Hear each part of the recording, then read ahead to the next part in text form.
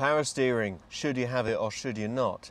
Now, when they were originally developing the MGF, the engineers didn't want power steering, but the market men made sure it made it into the brochure. So here we have it, electronic power steering, very clever, quite Honda-like. Um, so what we're going to do is go for two drives, one with power steering and one without, and see how it compares.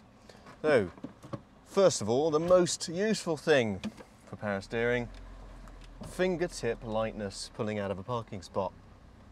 Very easy, in fact, literally with my fingertip.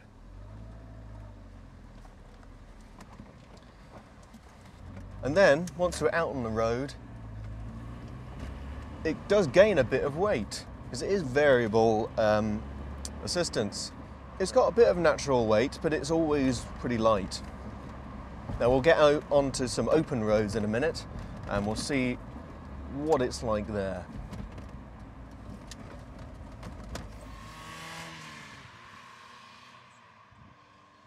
Right, now that we're on some open roads, get a real feel for what it's like at speed. Off centre, it's reasonably direct, and when you pitch into a corner, there's a bit of feel, and there's a proper bit of weight to it. It's still a little bit light, but it definitely lets you place the car accurately. What I would say yeah, just when you're trimming your line and you want to just add a little bit more input, you can't quite it just doesn't feel as natural as maybe you want it to. Right, let's go and see what happens when you take the fuse out.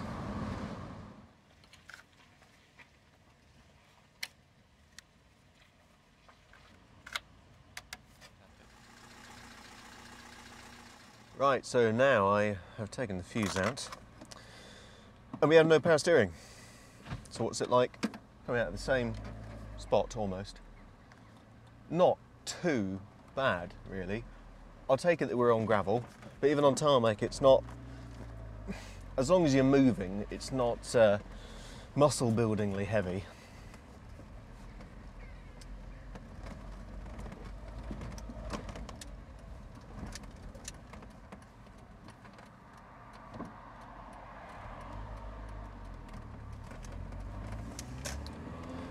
And then out and about in town doing your 30 mile an hour stuff, it feels actually here a lot better than when it's power assisted because it's light enough, it's not too heavy, um, but it doesn't have that weird kind of trying to be light when it's below 20 miles an hour or something and then trying to be heavy above it.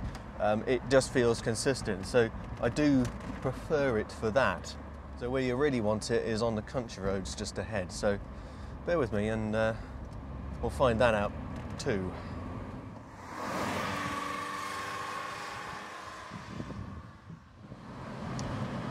So at speed, the steering's actually weight-wise not far off what the power steering would be.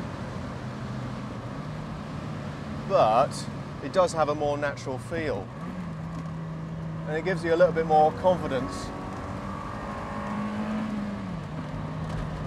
to push the car and you get a load more feel through the wheel, especially if you just keep a constant line through a corner. You're picking up all bits of the road that you wouldn't normally. So just for that, I think it probably is worth it. If you're out there looking for a way to increase the feel, the dynamic feel of your MGF, definitely something worth trying. And as you can see, it's so easy to just pull the fuse out and put it back in. So give it a go. And I reckon, at least for me personally, it's worth keeping it out. And you don't have to go to the gym so often when you're parking either. Right, well, if you're uh, interested in any other MGF related videos, then check out the rest of our channel. Um, and there's even other stuff on other cars there too. So until next time, thanks a lot. Comment and subscribe. Maybe tell us about your experiences and we'll see you next time. Cheers.